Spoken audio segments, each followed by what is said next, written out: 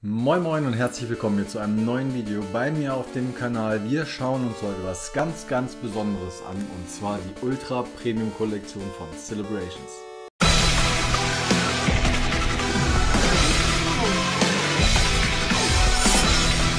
Ja, und ein Riesendank geht raus an Emre, Protec. Guckt unten in die Videobeschreibung, da seht ihr den Link zu seinem Twitch-Kanal. Da könnt ihr bei Boxbreaks mitmachen, Pokémon, Digimon. Also wenn ihr da Bock drauf habt, unterstützt ihn gerne. Richtig guter Kumpel von mir geworden über die Zeit. Und ja, der Gute hat mir echt diese Box besorgt. Da bin ich mega dankbar. Richtig geil. Muss ich jetzt auch sofort an dem Tag aufmachen. Ähm, an dem es jetzt gekommen ist. Und wir schauen uns dieses Baby hier an, das er uns besorgt hat. Also vielen, vielen Dank nochmal. Also kann man gar nicht genug sagen. Die ist halt irre, für was die bei eBay aktuell rumgeht. Total bekloppt, also über 300 Euro teilweise. In Läden mit manchmal für 400 verkauft. Und das geht nicht auf. Zack. Also da einfach nochmal tausend, tausend Dank. Ich kann mich gar nicht oft genug bedanken. Er hat gesagt, wenn ich nach Tara hier rausziehe, dann muss ich auf jeden Fall an ihn denken. Das werden wir machen, wenn wir es ziehen. Ähm, und ja, wir schauen mal, was wir hier so rausbekommen können. Also die Promos sind allein schon ja mega. Die Box an sich soll auch richtig cool sein. Ich habe mir selbst noch kein Video dazu angeguckt. Nur so ein paar Bilder habe ich halt gesehen. Bei Emre im Stream, der hat seine nämlich auch geöffnet. Da war ich zu spät von der Arbeit, da habe ich den Anfang verpasst. Und darum ist es jetzt das erste Mal, dass ich diese Box öffne. Wie auch immer ich sie öffne, da fängt sie mich an. Hier, ah, ganz gut. Boah, starker Magnet. Wurde mir schon angekündigt, dass das ein starker Magnet irgendwo ist. So. Und wie machen wir es denn am besten? Hier ist so wenig Platz mit dem Mikrofon. Also, wir haben. Oh, die ist geil. Die ist echt geil. Die ist mega. So, damit ihr es einmal sehen könnt, hier sind so Schubfächer drin. Also, die, die ist richtig geil. Die ist einfach geil. Hier noch auch Train On drauf. Rückseite ist relativ schlicht. So ein bisschen aus wie die Play mit nur in anderer Farbe. Also die gefällt mir mega gut. Dann schauen wir mal, was wir hier so ja, rausziehen. Also das wird wahrscheinlich, das ist das gleiche Buch. Habe ich das hier noch liegen? Es fühlt sich irgendwie anders an. Ich habe leider das nicht mehr liegen, das Buch. Es ist, ich glaube, die sind da wahrscheinlich nicht drin. Es fühlt sich auf jeden Fall besser an, deutlich besser. Also, selbst sowas ist gut. Wir ziehen. Scheinbar ist es nicht zum Ziehen. Wir ziehen aber mal hier die Schubfächer raus. Nehmen wir mal alle und dann gucken wir uns das alles ganz in Ruhe an. Was wir hier so drin haben. So, ist auch nichts nach hinten durchgefallen. Dann machen wir diese wunderschöne Box einmal zur Seite. Ich bin echt begeistert von der Box. Also qualitativ richtig, richtig nice. So, und dann haben wir hier ganz viele Sachen drin. Packen das mal raus. Wir haben dreischaurige Herrschaft und vier Kampfstile und ein Farbenschock-Booster. Also, das ist einmal, was da drin ist. Dann gucken wir uns gleich die Promos, würde ich sagen, alle zusammen an. Und dann haben wir hier, ich glaube, 17 Farbenschocks sollen es ja sein. Ich mal hier auf die Box, müssen wir uns auch mal kurz angucken. Also, es ist schon cool gemacht. Kann man nicht anders sagen. Gefällt mir mega, mega gut. Ich weiß nicht, wo ich das Ganze alles hinpacken soll. So, 17 Stück meine ich sind es. Steht hier. Genau, hier steht es noch drauf. Also 8 normale und 17 Celebrations Booster. Da schauen wir doch mal, ob wir die auch voll haben, weil es gab schon welche, unter anderem Emre, wo eins zu wenig war. 1, 2, 3, 4, 5, 6, 7, 8, 9, 10, 11, 12, 13, 14, 15, 16, 17. Also hier sind genug drin. Das ist schon mal sehr nice. Stellen wir alles mal zur Seite. So, dann haben wir hier. Oh nein, die Glurak ist schon rausgefallen. Ein bisschen vorsichtig. Ich hole es mal hier rein, dann könnt ihr auch was sehen. Also hier war Glurak drin, das ist rausgeploppt. War leider so offen, ich hoffe es hat nicht wirklich Schaden genommen. So, als erstes haben wir hier die Münze aus Metall, nicht so ein Billo-Plastik, sondern richtig wertig, so wie bei der Seishield Collection oder der Seishield Summer Center. Dann ein Pin mit Pikachu und Glurak. Dann kommen wir zu den zwei Gold-Promos. Einmal das Pikachu und die finde ich sehen halt auch richtig geil aus. Alles hat schon was. Auch von der Struktur das Pikachu und das ähm, Jubiläumsmotiv, haben eine andere Struktur als der Rest der Karte. Nice. Nice, nice, nice, ey. Die Box ist, das ist richtig cool. Hier der Pokéball, genau das gleiche. Richtig, richtig schick. Also da haben sie schon was, was Geiles gemacht. So, dann haben wir hier das Pikachu. Wow, und es slidet auch sehr schnell raus. Das mal ein bisschen beiseite packen. So, und diese Metallkarten sind schon echt cool. Das war nur direkt, das ist gut. War hier leider qualitativ nicht so geil. ihr seht, hier sind ziemlich viele Flecken drauf, aber ansonsten machen die schon was her. Also die sind schon richtig geil. Also eine Hand haben. Hier leider auch ein bisschen was. Also, dass das auf Metall nicht so einfach ist, glaube ich. Aber die sehen schon cool aus. Auch so, traue mich irgendwie gar nicht. Weiß nicht, ob ich es jetzt hören konnte. Ich habe es mal versucht, ein bisschen zu zeigen. Also mega nice.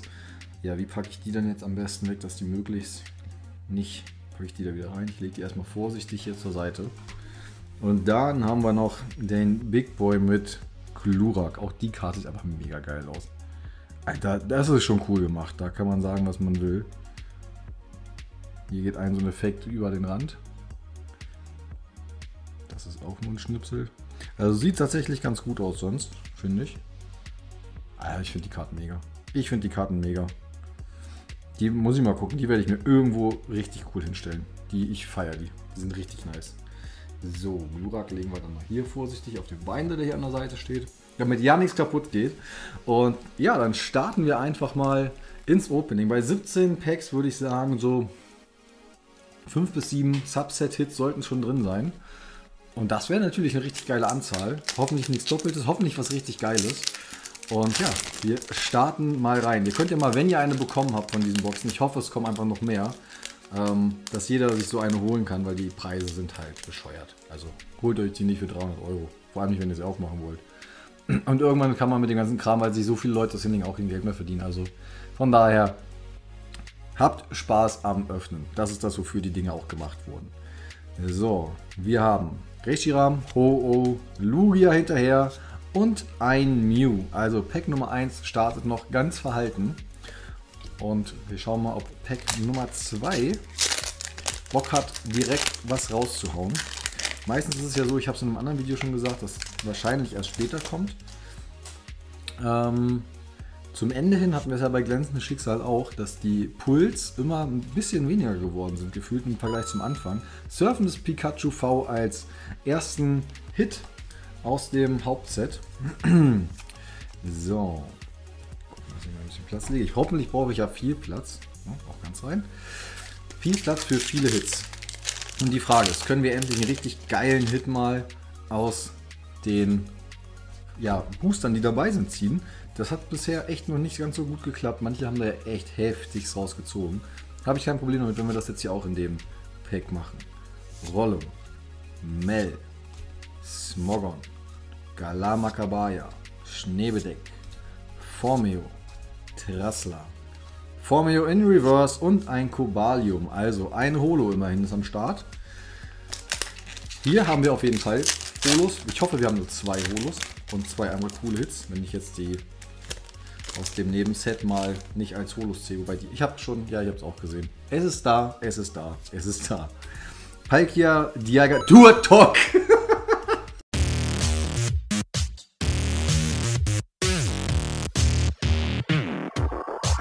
Sehr gut, also das Pack gönnt doch gleich mal richtig. Also wir haben das vierte, glaube ich, ist es inzwischen. Und ich habe mir überlegt, die anderen habe ich schon weggetradet. Ich möchte alle Starter nochmal haben, wenn ich es schaffe, Glurak zu ziehen, weil das wird mir sonst zu teuer. Und das Pikachu, das wunderschöne. Ähm, will ich die nochmal graden lassen. Und mal schauen, ob das funktioniert. Also das ist jetzt wahrscheinlich für mich jetzt gerade an dem Punkt das letzte, was ich öffne. Von dem Set, weil ich habe es voll ansonsten. Wie gesagt, Videos kommen noch. Und ja, jetzt bin ich komplett raus, weil Tutok hat mich überfordert. Ähm, darum werde ich davon wahrscheinlich nicht mehr so wirklich was kaufen, außer noch den Koffer auf jeden Fall. Wenn der dann irgendwann mal kommt, damit die Promos auch in meine Sammlung kommen, weil dann habe ich wirklich alles mit Promos und und und zusammenbekommen. Ich hätte ja nicht mehr dran geglaubt. Reshiram hat auch nicht dran geglaubt. Und Forschung des Professors Full Art.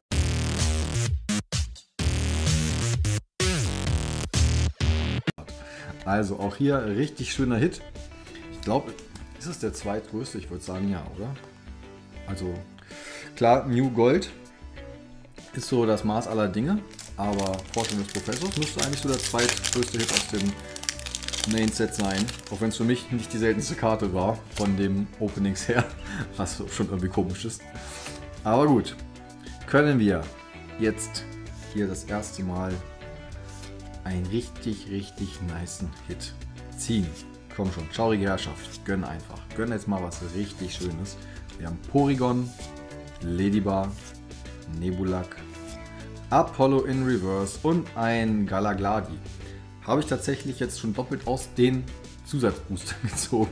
Das ist schon echt komisch. Das ist schon echt komisch. Nichts draus ziehen, aber Rares schon doppelt. Und ja, ich glaube, Groudon, Groudon, Groudon, wie auch immer ihr es sagen wollt, und Kyogre sind für mich die schönsten Artworks. Ich finde die geil mit Team Magma und Team Aqua. Haben sie richtig, richtig gutes Artwork gemacht. Wobei es ja Reprints sind. Ich weiß gar nicht, von wann die waren. Mew. Aber, hey, auch alte Sachen sind sehr schön. Aber wir können noch einen guten zweiten Hit jetzt aus dem Subset gebrauchen. Cosmog. Dialga. Don Fun Prime. Sehr nice. Also da wieder ein Hit und die normale Forschung des Professors.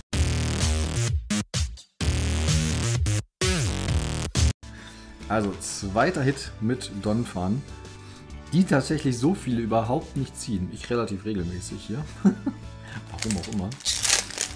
So. Und da haben wir doch Groudon gleich passend dazu. Ich habe es eben noch angesprochen, dass auch dieses Artwork einfach richtig, richtig nice ist. Finde da, wo so viel drauf passiert, ist immer richtig cool. Cosmog, schimmerndes Carpador, yay!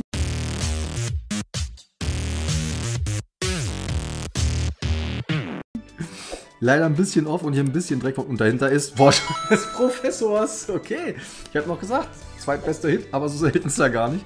Da ist er schon wieder, aber schimmerndes Carpador, richtig, richtig nicer Hit. Da denke ich, ist, die Box ist schon cool. Also mit Turtok und Carpador, ich glaube Carpador ist nach, also aus dem Main-Set, äh, nee, aus dem Subset die drittbeste Karte. Was jetzt den, ich nehme mal was anderes. Machen wir mal hier ein bisschen Kampfstil oben drauf. Ähm, die drittbeste Karte, was den, den Wert zumindest angeht. Nach Glurak und nach Tara. Mew spielt da natürlich auch noch mit rein, aus dem Mainset. Aber ansonsten kommt, glaube ich, schon Carpador. Von daher sehr, sehr guter Hit. Habe ich am Anfang nicht gezogen und ja, jetzt kommt es doch ganz cool rüber. Freut mich auf jeden Fall, weil einfach eine wunderschöne Karte und wird auch dann eine wahrscheinlich gegradet werden, einfach um sie zu bewahren vor irgendwelchem Schmutz oder Knicken, wobei Knicke kommen sollte eigentlich nicht passieren. Galalamus. Also die Sets gönnen weiter nicht, aber dafür gönnt Celebrations halt hart. Finde ich gut. Kann ich völlig mit leben, wenn es so rum ist. Aber jetzt haben wir schon drei Hits. Was habe ich am Anfang gesagt? Fünf bis sieben, ne? Wir haben noch einiges an Boostern da. Könnte klappen. Könnte tatsächlich klappen. Wäre auf jeden Fall richtig cool. Jäger, Palkia, die Spiele. Bald ist es soweit. Und Seishien darf natürlich auch nicht fehlen die Karte, die Pikachu locker abgelöst hat vom, vom meisten Hitpotenzial. Aber gut, schauen wir mal, ob wir jetzt hier wieder was Schönes aus dem Subset bekommen. Xerneas, Steffis Lieblingskarte aus dem Set. Die findet ihr einfach wunderschön.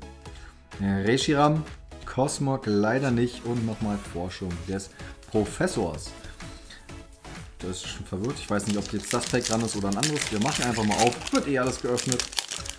Ist schon irgendwie cool. Und nach so einem, ja, so einem Subset, außer ne, was Celebrations ja im Endeffekt ist, wo immer nur so ja Einzelprodukte sind, wo man dann ja nicht so viel auf einmal öffnet wie bei einem Display, ist die Box halt schon echt heftig. Also es ist ja quasi schon ein, ein Display. Es, es, kommt in die Nähe zumindest, was die, die Anzahl zumindest auch, äh, angeht. Und da wird es dann ja, also teile ich es ja immer in zwei Videos auf.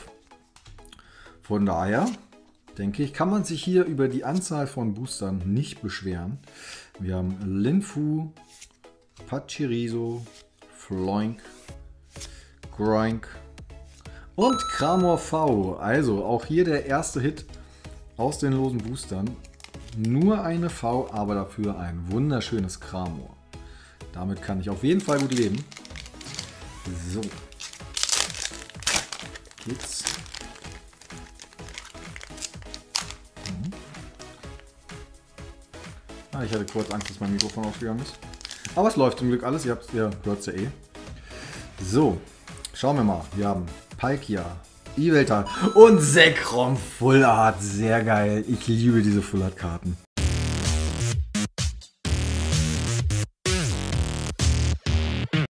Ich liebe diese Full Art Karten. Sie sind einfach wunderschön. Die Box ist geil. Also was hier an Hits rauskommt, ist die Box geil. Und das surfende Pikachu. Also die Box, die gönnt. Also vor allem was, ne? Also so ein Donphan, ja, ist coole Karte, aber keiner der ganz großen Hits. Aber jetzt hier Full Art, Tour Talk, schimmerndes Carpador. Bisher richtig gut. Zweimal die Full Art. Ähm Na komm, sag schon. Zweimal die Full Art von Forschung des Professors, von Professor Eich. Also bisher gut. Sehr gut. Damit fehlt uns noch eine, um quasi unser Minimumziel zu erreichen. Können wir das jetzt hier schon erreichen? Ja, wir tun es mit Hier kommt Team Rocket.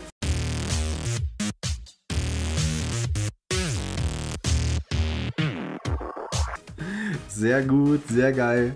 Tatsächlich auch erst meine zweite davon. Und wie soll es anders sein? Nochmal einen Seishien oben drauf.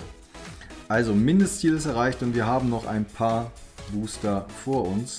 Und die Sleeves gehen aber langsam aus. Das ist jetzt die letzte. Also das Set ist eher Sleeve verschlingend. So, dann machen wir nochmal Kampfstile. Und dann haben wir noch die drei letzten Schaurige Herrschaft, Kampfstile und Farbenschock. Also, einen V-Hit haben wir schon. Einen zweiten Hit sollten wir doch noch aus dieser ganzen Anzahl an Booster bekommen. Das wäre auf jeden Fall nicht verkehrt. Skorgla, Pupanze, Electek, Gramokles, Stalos und Caputoro. Also Holos haben wir auf jeden Fall.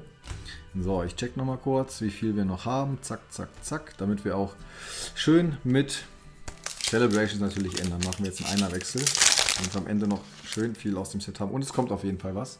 Ich habe keine Ahnung was. Ich habe es nur beim Aufmachen gesehen. Ich weiß nicht, ob ihr es auch gesehen habt. Xerneas. Xerneas.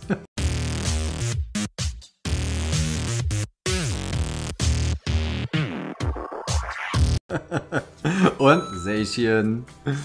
Also, Xerneas jetzt auch hier doppelt am Start, hintereinander weg. Ach ja, da war ja was. Dann geht es nochmal an die letzten Perfect Size Sleeves. Dann brauche ich tatsächlich mal schon wieder neue. Also das Set hat echt, ich hätte die echt dahin gerafft. So. Am Anfang immer ein bisschen schwer, die aufzubekommen. Aber auch Xernia ist einfach eine wunderschöne Karte. Und damit sind wir bei 6 Hits. Sehr cool. Und Seishien. So, dann, was machen wir mal auf? Machen wir noch mal Farbenschock jetzt. Farbenschock haben wir noch gar nicht gehabt. Amazing Rare können wir ziehen. Rainbow Pikachu können wir ziehen. Ist auch immer noch die Karte, die ich richtig, richtig gerne hätte.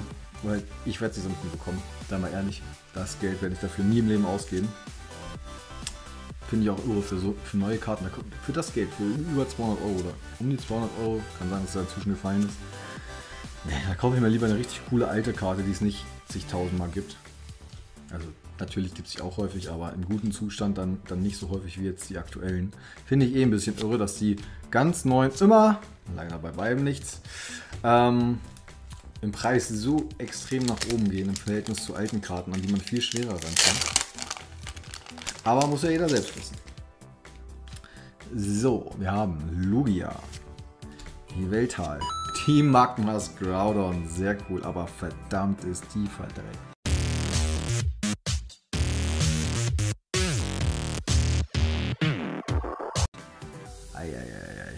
Und Pikachu, jawohl, also es lässt sich nochmal blicken.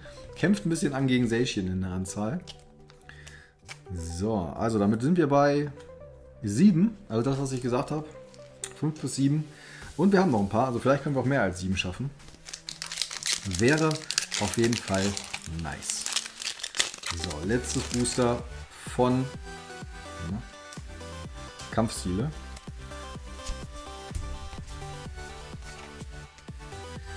Können wir hier noch was ziehen.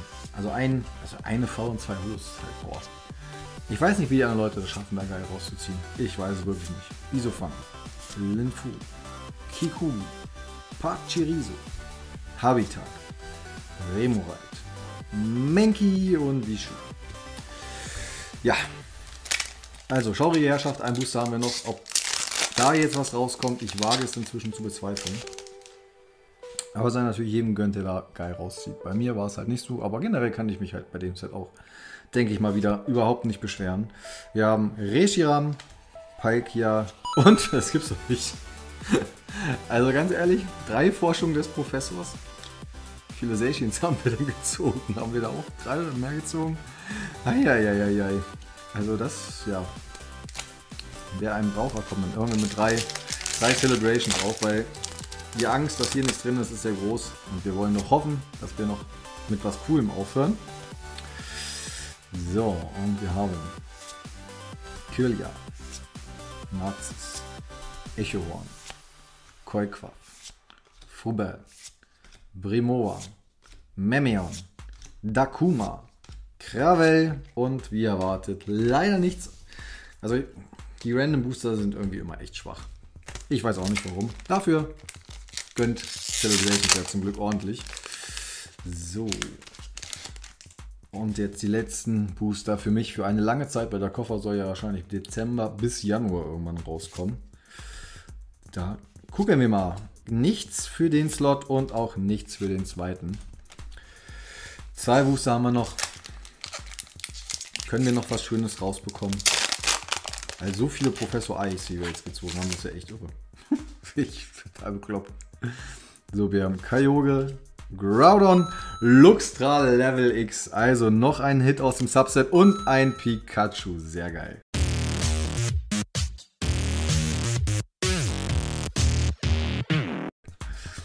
Also da wird die Seite immer größer mit den Pikachus.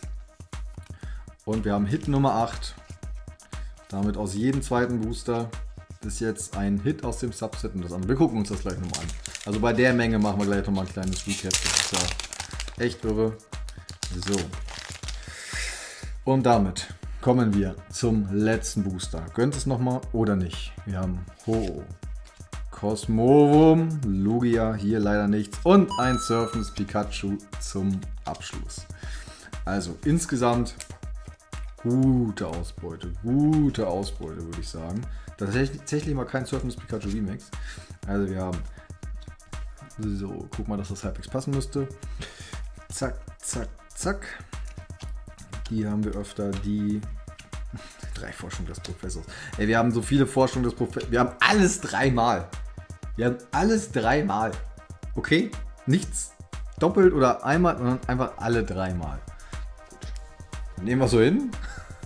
Also, wirklich ist das bescheuert. Dann haben wir noch einmal das Kramor. Und dann haben wir noch hier die anderen Karten. Also wird leider scheinbar nichts mit einmal Starter graden, außer die letzte Box gönnt nochmal richtig.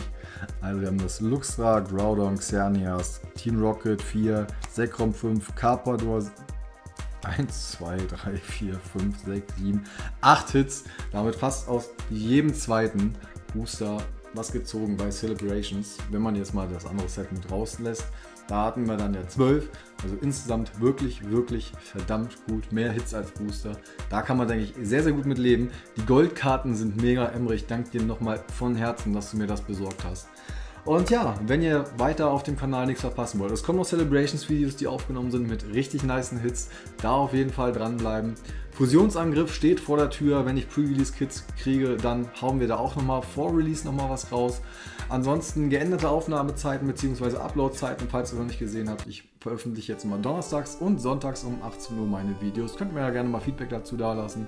Ja, ansonsten Like, Kommentar, ihr wisst, wie das funktioniert. Vielen Dank fürs Zusehen. Bis zum nächsten Mal. Ciao.